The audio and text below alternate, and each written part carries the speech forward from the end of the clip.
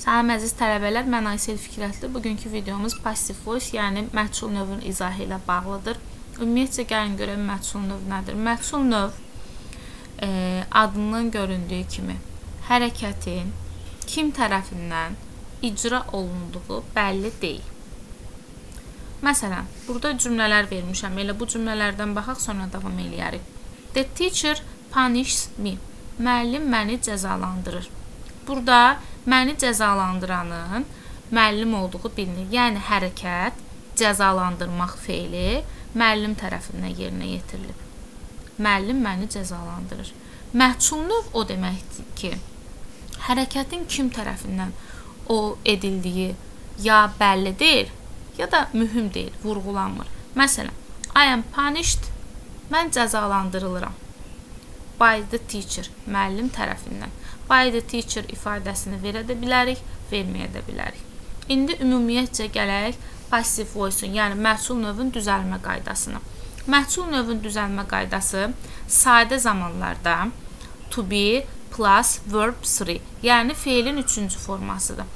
Bir dənə xatırlatma edək sizə feilin üçüncü forması nə idi? Məsələn, go feilin birinci formasıdır. Ve 1 went fiilin ikinci forması. Fiilin üçüncü forması isə olacaq qan. Və 3 to be plus verb 3 fiilin üçüncü forması. Sadə zamanların düzəlməsində çıxış edir. Bir də bir şey yadda saxlamaq lazımdır. Məlum növü məhsul növə çevirərkən bizə sorry, məlum növü məhsul növə çevirərkən məlum növün tamamlığı məhsul növün mübtədəsi olur. Yəni the teacher punishes me. Müəllim məni cəzalandırır. Burada tamamlıq əvəzliklə ifadə olunub. Obyekt əvəzliyi me, məni, mənəm. Düzdür? Tamamlıq özdə xəbərdən sonra gəlir. Məhsul növə çevirəndə dedik ki, tamamlıq gəlib keçəcək cümlənin əvvəlinə mübtədə olacaq. Minin də mübtədə versiyası hansıdır? Ay. Bu bir qayda. Daha sonra nəyə fikir vermək lazımdır? İkinci fikir veririk biz zamana. Yadınızda qalsın. Məhsul növə çevirəndə heç bir zaman dəyişikliyi olmur. Cümləm indiki zamandadsa, mən variantlarda indiki zaman axtarmalıyam digər variantları çıxacam avtomatik. The teacher punishes me. Punish indiki zamanda olduğu üçün indiki zaman olduğunu hardan bildik? Feilin sonunda s şəkilçisi feilin üçüncü şəxsin təkində və indiki zamanda olduğunu göstərir. Demək bu indiki zamandadır.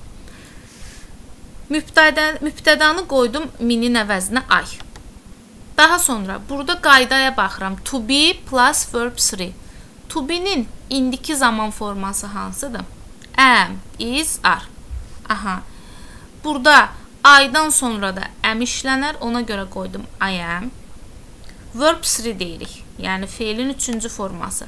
Feilin üçüncü forması punish, punished, punished olur. I am punished. Mən cəzalandırılıram. By the teacher. Mübtədəni verərkən biz qarşısına by söz önünü əlavə etməliyik. Yadınızda qalsın, canlıların qarşısında bay. Müəllim tərəfindən, uşaq tərəfindən. Keçmiş zamanına baxaq. The teacher punished me. Müəllim məni cəzalandırdı. Yenə mi avtomatik keçəcək cümlənin əvvəlinə olacaq I mübtədə vəzifəsində. Punished keçmiş zamandadırsa, to be-nin keçmiş zaman forması was were-dur.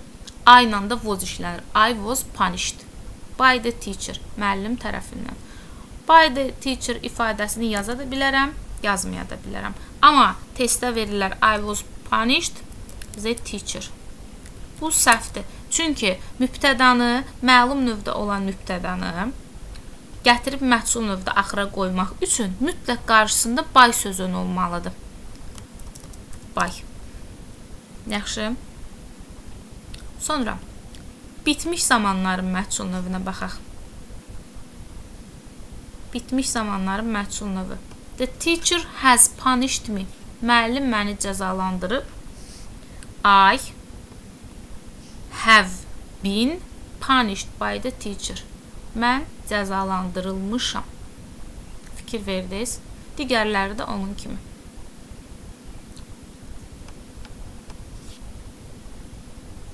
Davam edici zaman. Üçüncü bölmədə davam edici zamandır. I am speaking English.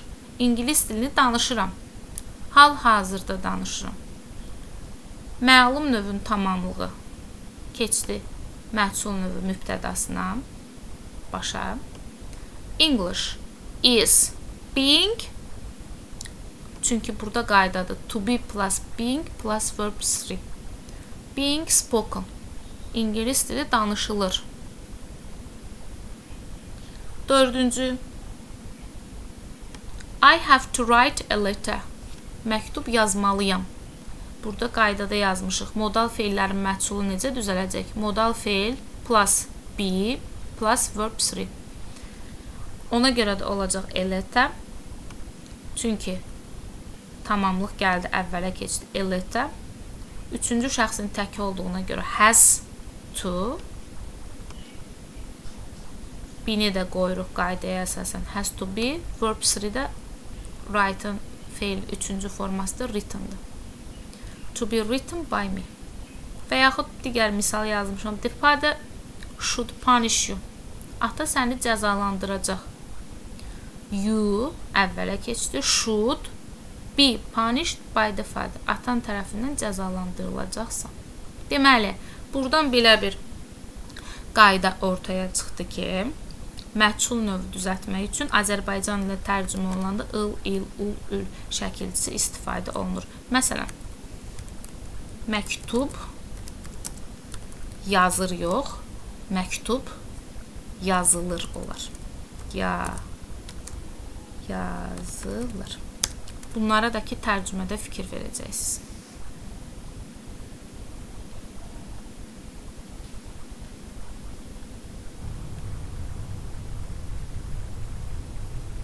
Gəlin qaydaya uyğun, izaha uyğun burada baxaq. Elə birinci testə baxaq. Change the sentence into passive. Passivə çevirək. The police officer assisted me. Baxıram. Tamamlığım, yəni xəbərdən sonra gələn söz midir. Mid isə demək mi olacaq məhsul növü mübtədası, cümlən başlayacaq ayla ay bütün variantlarda aydır. Sonra assisted feili keçmiş zamandadır. Keçmiş zamandadırsa məhsula çevirəndə keçmişdə heç bir dəyişiklik olmur. Keçmiş olur keçmiş, indiki olur indiki. Keçmişdirsə have indiki zamandır. Bir ondan bilərəm. Will be gələcəkdə çıxdı. Am indikidir. B ilə Y variantı arasında qalırıq. Demişdik ki, to be qayda buydu ki to be plus verb 3 yəni feilin üçüncü forması. I was assisted. Qaydaya uyğun olacaq B variantı. I assisted olmur. Sonra 3-ə baxaq. Jane cleaned the kitchen in the morning. Burada tamamlığım hansıdır? The kitchendir mətbəxdir Çünki xəbərdən sonra gəlib. Cümləm başlayacaq kitchen sözü ilə.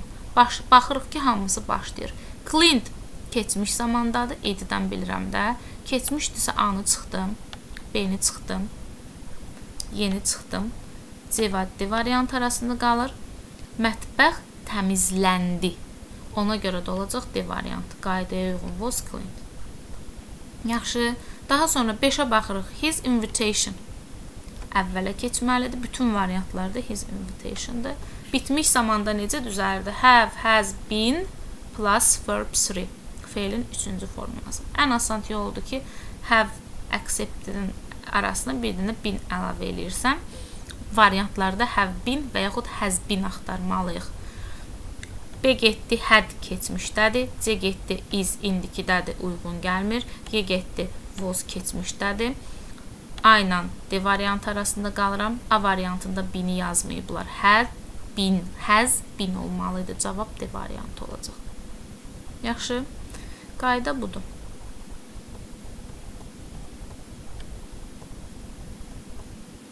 Və yaxud başqa bir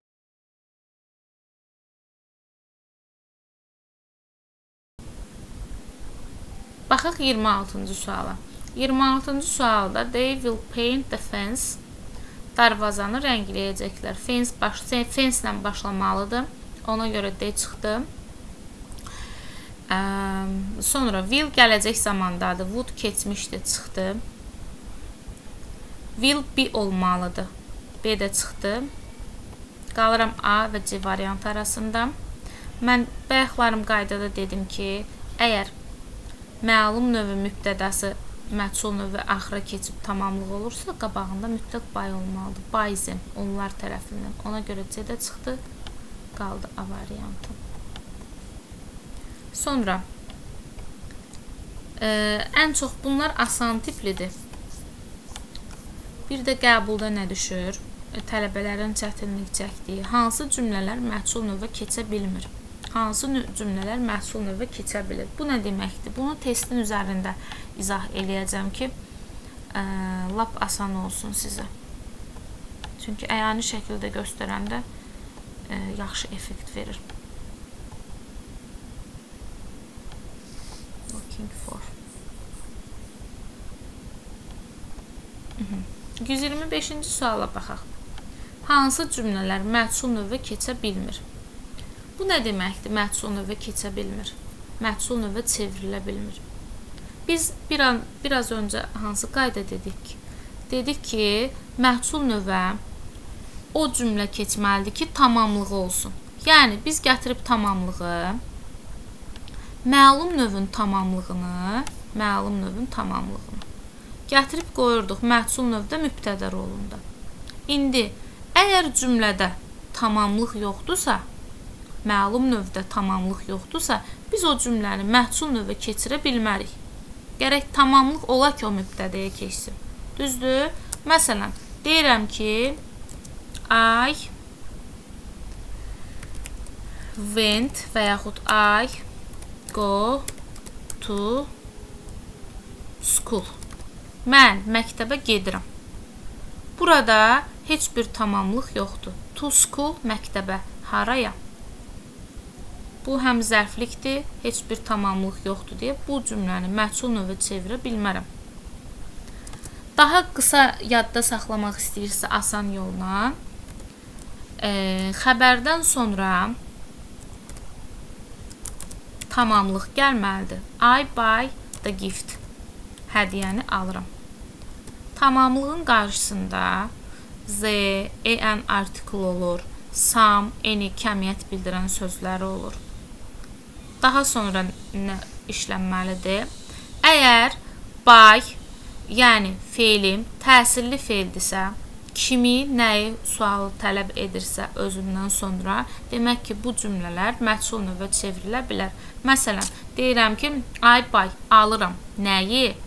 Deməli, bu cümlə məhsul növə keçə bilir. Amma I go, mən gedirəm.